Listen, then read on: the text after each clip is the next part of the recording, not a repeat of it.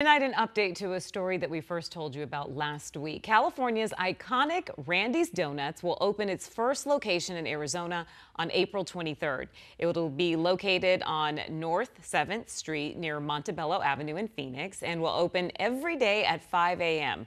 There are plans to open more locations in Arizona in the future. Looks delicious.